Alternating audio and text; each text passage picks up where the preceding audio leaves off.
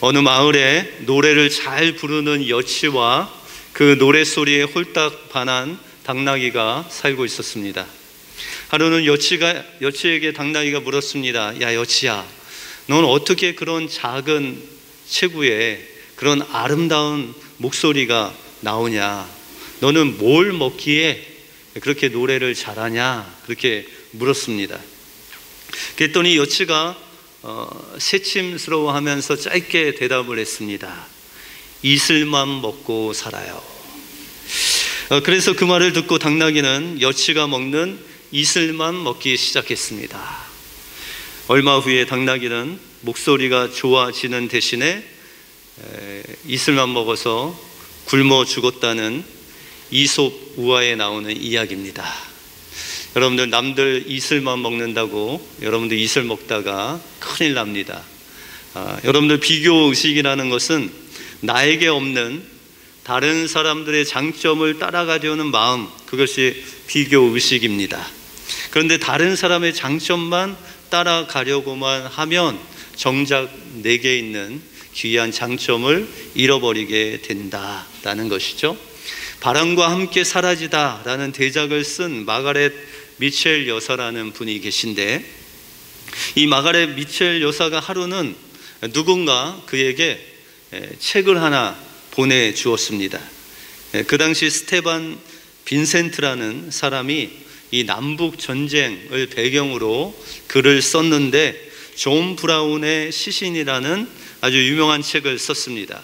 그 책을 읽은 이 미첼 여사는 그 작품의 훌륭함을 몸소 깨닫고 자기가 쓰고 있는 바람과 함께 사라지다라는 것이 얼마나 보잘것 없는 소설인가를 그 마음의 좌절과 낭망에 빠져서 쓰다만 자기의 원고를 옷장 안에 넣어놓고 6개월 동안 좌절 가운데 시간을 보내고 있습니다.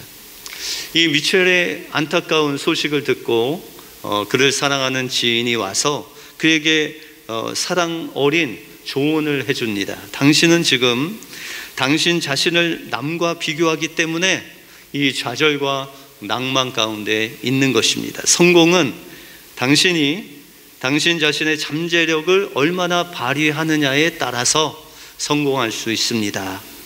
그러니 이런 생각 위에서 노력하시고 나머지 것을 잊어버리기 바랍니다. 그런 충원을 했습니다.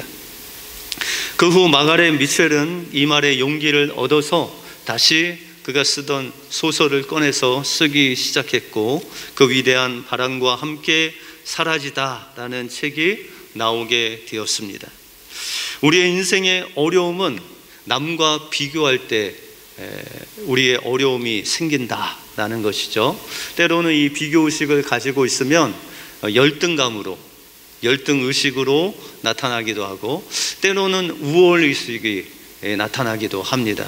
그런데 이 모든 것은 우리에게 어려움을 준다라는 것이죠. 그러나 우리가 하나님 안에서 우리의 가치를 확인하는 순간 우리는 비교 의식에서 벗어나서 아, 주님이 주시는 진정한 자유와 회복을 맛볼 수 있다라는 것입니다. 왜냐하면 우리는 하나님 안에서 주님이 지으신 하나님의 형상대로 지으신 귀한 존재라는 것, 그것을 하나님 앞에 방일견할 때, 주님 안에서 발견할 때 우리는 하나님께서 여러분들 향하신 놀라운 뜻을 이루는 그런 귀한 일꾼이 될 수 있다라는 것을 기억하시고 비교 의식을 내려놓고 하나님 안에서 여러분들 발견하심으로 귀한 하나님의 일꾼이 되시는 여러분의 삶이 되시길 주님의 이름으로 축원드립니다. 오늘 본문을 통해서 비교 의식과 실패를 경험하고 있는 우리가 어떻게 이 비교 의식에서 실패해서 회복될 수 있고 또한 이 회복을 통해서 우리에게 주시는 하나님의 사명과 또 그 축복이 무엇인지 오늘 본문을 통해서 살펴보겠습니다. 먼저 예수님은 사랑의 고백을 통해서 우리를 회복시키십니다. 예수님의 수제자인 이 베드로가 예수님을 세 번이나 부인하죠. 그래서 그는 예수님이 부활하신 것을 알고 또 부활하신 예수님을 만났음에도 불구하고 어, 그 마음 속에 이제는 내가 예수님의 제자가 아니다. 내가 예수님을 따라 다녀도 예수님께 좋은 것, 덕이 되는 것도 없다라고 생각하고 이 베드로가 낙향을 해서 이제 고기 잡는 업으로 돌아가는 이 베드로의 모습을 우리가 볼 수 있습니다. 오늘 본문 3절에 보시면 시몬 베드로가 나는 물고기 잡으러 가노라 하니 그들이 우리도 함께 가겠다 하고 나가서 배에 올랐으나 그날 밤에 아무것도 잡지 못했다고 성경은 말씀하고 있습니다. 이것이 바로 베드로의 마음이죠. 예수님 부활하신 그 예수님을 그토록 바라던 예수님을 만났음에도 불구하고 그는 예수님을 떠나 낙향하여 그가 가졌던 그 직업인 업으로 돌아가는 그 베드로의 심정이 여기에 쓰여져 있다라는 것입니다. 이제 예수님 저는 예수님의 제자가 아닙니다. 예수님을 따라가도 예수님께 도움이 되지 않습니다. 라는 그런 마음으로 이제 물고기를 잡으러 갔는데 이게 웬일입니까? 밤새 그물을 던져도 그 동료들과 고기 한 마리 잡지 못하고 어, 빈 손으로 그물을 이제 정리하는 그 제자들을 보시고 예수님께서 소리를 지르시죠. 그물을 오른쪽에 던져라. 그랬더니 어떻게 됐어요? 예, 고기가 그물이 찢어지도록 그렇게 잡히게 되죠. 근데 예수님은 이제 숯불을 피워 놓으시고 거기에 이제 생선을 가져다가 어, 구우시고 또 떡을 가져다가 구우시고 이 제자들을 위해서 어, 아침 식단을 마련하시는 그 예수님의 모습이 나옵니다. 여러분들 오늘 본문에 나오는 수풀이라는 단어가 신약 성경에 두 번 나옵니다. 한 번은 베드로가 예수님을 부인할 때 그 앞에 있었던 것이 숯불이죠. 그리고 이제 예수님이 찾아오셔서 그들에게 아침 식사를 준비하는 그 현장에 이 숯불이 있죠. 다른 제자들이 봤을 때는 별로 뭐 그냥 그러려니 하지만 이 베드로가 봤을 때는 이 억장이 무너지는 그런 아픔이 있는 숯불입니다. 그런데 이 예수님께서 이렇게 예수님을 떠나 낙향을 하고 또 고기를 잡으러 갔던 이 많은 제자들에게 그를 위해서 아침 식사를 준비하고 애들아 와서 식사해라 라고 했을 때 여러분들 제자들이 어떤 마음이 들었을까요? 한편으로는 민망하고 한편으로는 어, 부끄럽기도 하고 한편으로는 죄송하고 한편으로는 고마운 마음 어, 눈물 흘리지 않았겠습니까? 그 눈물 흘리면서 예수님이 차려준 그 아침 식사를 어, 지금 하고 있다라는 것이죠. 근데 예수님께서 다른 제자가 아닌 이제 베드로를 부르시는 예수님의 모습이 나옵니다. 여러분들 15절에 보시면 그들이 조방 먹은 후에 예수께서 시몬 베드로에게 이르시되 요한의 아들 시몬아 내가 이 사람들보다 나를 더 사랑하느냐라고 이렇게 물으십니다. 여러분들 예수님께서 특별히 베드로에게 야 내가 나를 사랑하느냐 그렇게 왜 물으셨을까요? 예수님이 베드로가 예수님을 사랑한지 몰라서 물었다. 아니면 이 베드로의 좀 마음을 그냥 어, 아프게 하기 위해서 예수님이 내가 나를 사랑하느냐 물으셨다. 왜 물으셨을까요? 이 예수님이 베드로의 마음을 베드로보다 더 깊은 베드로의 마음을 아시는 주님이시잖아요. 그럼에도 불구하고 예수님이 이 베드로에게 내가 나를 사랑하느냐라고 그것도 세 번이나 물으셨다라는 것이죠. 여러분들 지금 베드로와 예수님의 관계는 깨져 있습니다. 그래서 베드로는 그 마음의 상처를 가지고 낙창을 해서 업으로 돌아간 거죠. 이제 베드로가 생각할 때 예수님의 그 십자가 길을 지켜주지 못하고 또 예수님께 그렇게 호언 장담했는데 세 번이나 예수님을 부인하고 이제 실패 가운데 예수님과 베드로와의 관계가 깨진 상태에 있었다라는 것이죠. 그런데 예수님은 이런 상태에서 베드로를 회복시키시기를 원하셨다라는 것이죠. 그 베드로의 회복은 어떻게 일어나느냐? 바로 예수님의 그 질문에 스스로 베드로 자신이 예수님을 향해서 주님, 내가 주님을 사랑합니다. 이 스스로의 고백을 통해서 그 상처가, 그 좌절이, 그 관계가 회복되기를 주님은 원하셨다라는 것이죠. 그래서 예수님이 베드로에게 물으십니다. 처음에는 베드로야, 내가 아가페 사랑으로 나를 사랑하느냐 물으십니다. 여러분들 아가페의 사랑은 조건 없는 주님의 사랑 아닙니까? 그때 베드로가 예수님, 제가 무슨 아가페 사랑입니까? 주님, 저는 필레오의 사랑으로 주님을 사랑합니다.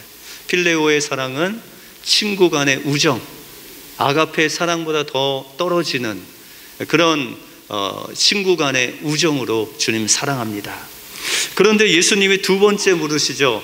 베드로야, 네가 아가페 사랑으로 날 사랑하느냐? 그랬더니 베드로가 주님, 저는 필데오 사랑으로 주님을 사랑합니다. 세 번째 예수님이 물으시죠. 뭐라고 물으셨을까요? 베드로야, 너 필레오 사랑으로 정말 나를 사랑하느냐? 그랬더니 베드로가 오늘 성경에 보시면 근심했다. 근데 원어에 보시면 아파했다. 그 마음이 정말 아팠다. 그리고 그는 고백하기를 주님, 제가 마음 깊은 곳에서부터 주님을 사랑하는지를 주님이 아시잖아요. 그러면서 사랑의 고백을 합니다. 여러분들 예수님께서는 이 베드로의 고백을 통해서 이 베드로의 상처난 그 마음을 회복하시는 그 예수님의 사랑의 방법, 회복의 방법을 우리에게 알려주시는 것. 그러면 여러분들 마음속에 하나님과 조금 서운한 관계, 좀 주님과 깨진 관계가 있다면 여러분들 어떻게 주님과 회복할 수 있을까요? 주님께 사랑의 고백을 하면 되죠. 주님, 제가 주님을 부족하지만 사랑합니다. 여러분들 입으로 스스로 고백할 때 주님의 그 놀라운 회복의 능력이 여러분들 안에서 뜨겁게 역사된다는 것이죠. 그러면은 이것은 주님과 우리와 만의 관계일까요? 여러분들 남편과 아내, 이 부부가 오래 살면 어떻게 돼요? 좀 서운해지고 냉랭해지죠. 그럴 때 아내가 묻죠. 남편에게, 여보, 나 사랑해? 그러면 남편은 뭐라 대답하셔야 돼요? 남편분들 대답해 보시죠. 뭐라고 대답해야 돼요? 몰라서 물어 이런 이런 분도 있고 아니면 말 안 해도 알지 이러시면 안 돼요. 어떻게 해야 돼요? 예? 예, 사랑합니다. 고백하셔야죠.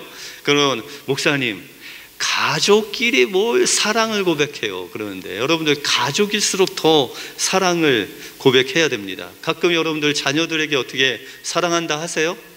아, 목사님 뭐 가족끼리 좀 민망하면 여러분 영어를 쓰면 되죠. Love 아들, love 딸, 좀 간단하게 여러분들 자녀들한테 이야기를 하세요. 어머니는 잘해요. 그죠? 엄마는 잘하는데 아빠들이 자녀들에게 사랑해 하기가 참 어렵죠. 근데 자식도 그렇더라고요. 제가 이제 한국에 있는 어머니하고 통화를 하면 어머니 사랑해요 라고 한 적이 거의 없습니다. 근데 이제 어머니가 가끔 요새 나이가 드셨는지 아들 사랑해 그래요. 그러면 마지못해 이제 입은 뛰기는 하는데 엄청나게 몸에 닭살이 돋습니다. 예, 엄마한테도 이 사랑해 하기가 참 어렵습니다. 예, 그러니까 여러분들 예수님께서 가르쳐 주신 이 회복은 바로 사랑의 고백을 통해서 어, 회복의 놀라운 역사가 일어난다라는 것이죠. 우리가 누구를 용서하는 거 되게 힘들죠. 뭐 사과하는 것도 힘들잖아요. 미안해. 내가 잘못했습니다. 그런데 이것은 상대방을 위한 것이 아니라 이 말을 함으로 인해서 내 마음의 상처가 회복되는 놀라운 역사가 일어난다라는 것이죠. 어, 이렇게 사랑의 회복을 시키실 뿐만 아니라 예수님은 베드로에게 이 회복과 함께 잃어버린 사명을 주십니다. 여러분들 15절에 보시면 예수님이 베드로의 이 사랑 고백을 한 후에 내 어린 양을 먹이라. 두 번째는 내 양을 치라. 세 번째는 내 양을 먹이라. 라면서 사명을 주십니다. 여러분들 예수님이 베드로를 첫 번째 부르실 때 그에게 어떤 사명을 주셨어요? 내가 사람을 낚는 어부가 되리라. 그런데 더 우리가 구체적으로 보시면 내가 너를 사람 낚는 어부로 만들어 주겠다. 그렇게 말씀하셨어요. 그러니 주님께서 이제 사람 낚는 어부로 베드로를 만들어 주실 뿐만 아니라 어떤 사명자로 만들어 주시겠다는 거예요. 영혼을 먹이고 치고 또한 그와 함께 하나님 말씀을 살아내는 그 사람을 양육하는 목자로 주님께서 베드로를 사명을 주신 것이죠. 그러면 우리 모든 사람들은 다 주님의 일꾼이죠. 그러면 우리의 사명은 무엇일까요? 사람을 낳고 그 영혼을 먹이고 입히고 또한 세워서 하나님의 제자로 만드는 그 목자의 역할이 바로 우리의 사명이다. 라고 말씀하고 있는 것이죠. 오늘 2시에 교회 일꾼을 세우지 않습니까? 어떤 일꾼을 세워야 되겠죠? 오늘 본문에 보니까 주님께 사랑의 고백을 하는 일꾼, 또한 주님께서 맡겨주신 영혼을 먹이고 입히고 양육하여 하나님의 귀한 제자로 세우는 일꾼을 우리가 세워야 되지. 근데 그 일꾼만 세우는 일만 여러분들 하시겠어요? 아니면 여러분들이 일꾼이 되시겠어요? 여러분들 또한 하나님의 일꾼으로 주님을 사랑하고 또 주님이 맡겨주신 그 영혼을 위해서 기도하고 또 하나님 말씀을 먹이고 같이 그 말씀을 살아내는 귀한 목자가 되셔서 주님께서 기뻐하시는 하나님의 일꾼이 되시는 여러분들의 삶이 되시길 주님의 이름으로 축원드립니다. 다음으로 예수님은 우리를 비교의식에서 벗어나 예수님을 따르는 사명자의 길을 가기를 원하신다는 것입니다. 베드로는 사랑의 고백을 통해서 이 예수님과의 관계가 회복되고 잃었던 주님의 사명을 되찾는 놀라운 뜨거운 회복의 역사를 경험하게 됩니다. 그때 예수님께서 베드로를 향해서 이런 말씀을 하시죠. 여러분 이제 18절에 보시면 같이 한번 읽어볼까요? 시작. 내가 진실로 진실로 내게 이르노니 내가 젊어서는 스스로 띠뛰고 원하는 곳으로 다녔거니와 늙어서는 내 팔을 벌리리니 남이 내게 띠띠우고 원하지 아니하는 곳으로 데려가리라 라고 이런 말씀을 주십니다. 오늘 성경에 보시면 이것이 베드로가 어떠한 죽음으로 하나님께 영광을 돌릴지를 예언하시는 예수님의 말씀이다. 실제로 베드로는 초대 교회사에 보시면은 사도 바울은 로마에서 목이 베어 순교당하고 이 사도 베드로는 네로 치하에서 십자가형의 처형을 당했다고 기록되어 있습니다. 그런데 이 역사에 보시면은 베드로가 이 십자가형을 당할 때 내가 어떻게 예수님이 달리신 그 십자가에 똑같이 달릴 수 있냐? 나는 거꾸로 매달려 죽겠다. 라고 해서 십자가에 거꾸로 매달려 순교를 했다고 기록하고 있습니다. 어, 이렇게 베드로가 어떻게 죽을 것을 예언하시고 예수님께서 베드로에게 말씀하시기를 나를 따르라, 나를 따르라 라고 이렇게 말씀하십니다. 예수님이 베드로를 첫 번째 부르실 때도 나를 따라오라. 내가 너를 사람 낚는 어부로 만들어 주리라 라고 하셨듯이 이 사명을 이루기 위해서는 베드로가 예수님을 따라가는 사명자의 길을 가야 된다라는 것이죠. 그런데 이 베드로가 20절에 보시면 돌이켜 예수께서 사랑하시는 그 제자가 따르는 것을 보니 그는 만찬석에서 예수님의 품에 의지하여 주님 파는 자가 누구오니까 묻던 자라고 이렇게 사도 요한을 보게 됩니다. 이것이 바로 베드로 속에 있었던 비교 의식이에요. 그러면 왜 베드로가 이 사도 요한, 사도 요한은요, 제자 중에 가장 나이가 어려요. 그래서 이 사도 요한이 가장 마지막까지 살아남아서 요한 계시록을 쓰게 되죠. 그리고 특별히 이 사도 요한은 나이가 어려서 그런지 막내라서 그런지 예수님이 특별히 사랑하시는 그런 제자였습니다. 그런데 베드로가 왜 이 요한과 자기를 비교했느냐? 이 요한은요, 예수님이 가시는 그 십자가 길을 끝까지 쫓아간 제자예요. 그래서 그 예수님께서 십자가를 지고 가시는 그 길에 사도 요한에게 말씀하시기를 보라, 내 어머니다. 라고 말씀하시면서 예수님의 육신의 어머니인 마리아를 이 사도 요한에게 맡기시는 장면이 나옵니다. 그리고 이 사도 요한은 예수님을 부인하지 않았죠. 근데 베드로가 요한을 볼 때마다 아, 저 친구는 예수님이 사랑하고 또 예수님을 십자가의 길을 끝까지 쫓아갔고 나같이 주님을 부인하지 않은 그런 제자인데 그러면 저 제자는 어떻게 될까? 그런 마음의 비교 의식이 있었다라는 것이죠.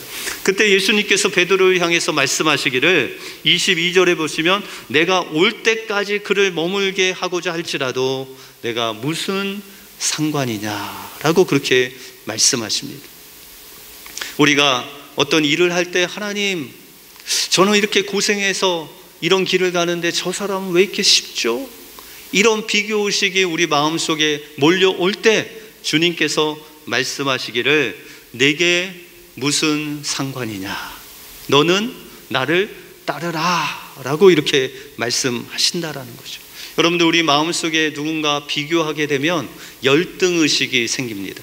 때로는 우월의식이 생기죠. 이 두 가지로 인해서 우리의 인생이 고달퍼지는 것이죠. 주님의 사명을 감당할 때 걸림돌이 바로 이 비교의식 이다라는 것이죠. 근데 주님께서 이 비교 의식을 극복하기 위해서 어떻게 베드로에게 말씀하세요? 내가 무슨 상관이냐? 너는 나를 따르라! 라고 그렇게 말씀하십니다. 다시 말해서 세상의 것 볼 필요가 없다. 세상에 있는 사람, 세상에 있는 환경, 세상에 있는 것, 조건을 보는 것이 아니라 너는 나를 봐라. 그리고 나만 따라와라. 그 사명은 너가 이루는 것이 아니라 바로 내가 이룰 것이다 라고 말씀하시면서 베드로 안에 있는 그 비교 의식을 치유하시고 예수님만 따르는 그 베드로의 사명을 다시 일깨우시는 예수님의 비교 의식을 치료하는 방법이 나와 있다라는 것입니다. 여기 완전한 실패의 인생에서 일어나 주님의 사명을 어, 이룬 사람의 이야기가 있습니다. 다니엘 휘틀이라는 어, 그는 미국 메사추세츠에서 태어나서 은행에 취직해서 안정된 예, 그런 편안한 삶을 살고 있었습니다.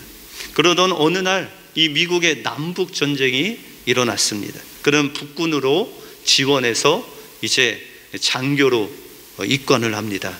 그리고 전쟁에 투입되어서 얼마 되지 않아서 소령이라는 이제 계급을 어, 지위를 갖게 됐습니다. 근데 불행하게도 전쟁 중에 수류탄 파편에 맞아서 이 오른손 팔꿈치부터 그 아래를 잃어버리게 됩니다. 오른손을 잃어버리게 되죠. 그리고 어, 불행하게도 포로가 되어서 이제 그 적군에게 끌려갑니다. 다행히 포로 수용소는 가지 않고 이제 야전 병원으로 데리고 가서 그곳에서 이제 이 오른팔을 어, 치료를 하는 그런 과정 중에 있게 됩니다. 병상 중에 곰곰이 생각했더니 어머니가 군대 간다고 이제 어, 식료품 같은 거를 싸 주시면서 그 안에 성경책, 신약 성경책을 넣어 주셨어요. 그래서 이 피틀의 마음 속에 하나님 말씀을 읽어야 되겠다라는 마음으로 그 아픈 팔을 부여잡고 이제 성경책을 계속 날마다 읽게 됩니다. 그러던 중에 어떤 간호사가 피틀에게 와서 아 저기 소년 병사가 한 명이 있는데 지금 너무 부상이 심해서 죽어가고 있는데 저 병사가 아, 주님을 영접하기를 원합니다. 혹시 가서 영접 기도를 한번 해 주시면 감사하겠습니다.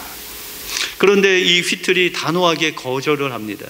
이 휘틀의 마음 속에는 어떤 마음이 있었느냐? 아, 내가 이 인생에 있어서 이 오른팔이 잘라나가는 그런 실패 경험을 한 실패의 인생이다. 또한 내가 소령으로 다른 사람들 지휘해야 되는데 이렇게 포로로 와 있는 이 자체가 나는 실패한 인생이다. 이 실패한 인생이 어떻게 저 죽어가는 영혼을 주님께 드릴 수 있단 말인가? 이런 실패와 좌절 속에 묻혀 있기 때문에 그는 선뜻 그를 위해서 기도해 줄 수가 없었다라는 것이죠. 그런데 소년 병사가 밤새 신음하며 고통 속에 있는 것을 보면서 휘틀의 마음에 아, 그를 위해서 기도해 주어야 되겠다는 마음이 생깁니다. 그리고 조용히 그에게 가서 무릎을 꿇고 그의 손을 붙잡고 그를 위해 기도합니다. 하나님, 이 어린 소년 병사가 이 전쟁을 통해서 죽게 됐습니다.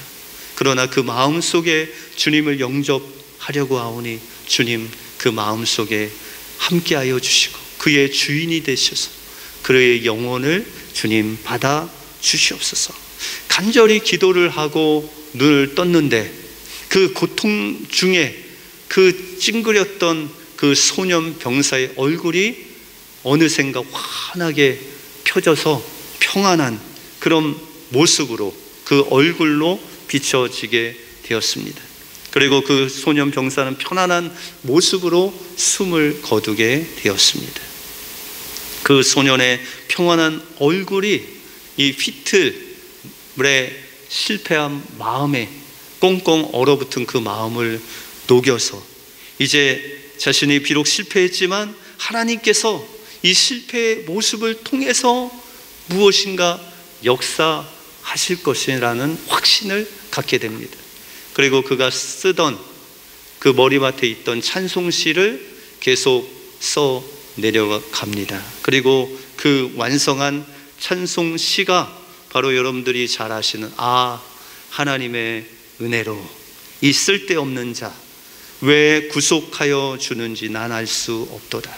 내가 믿고 또 의지하면 내 모든 형편 아시는 주님 늘 보호해 주실 것을 나는 확실히 아네. 이 찬양시를 하나님께 올려 드리고 그가 이제 어, 일반인으로 돌아가서 부활하신 주님의 손을 잡고 일어나 그 유명한 부흥사인 무디와 함께 전국을 돌아다니면서 어, 부흥 집회 때 함께 복음을 전하고 또 찬양을 지어 하나님께 영광을 돌립니다.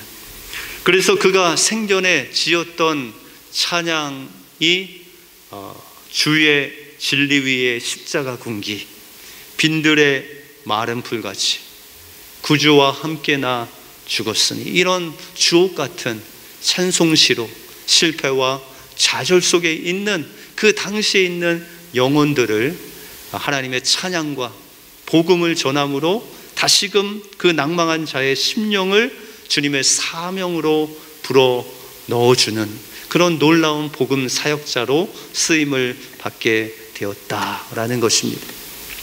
이 시간 인생의 크고 작은 실패 속에 있는 우리에게 주님이 우리를 찾아오십니다.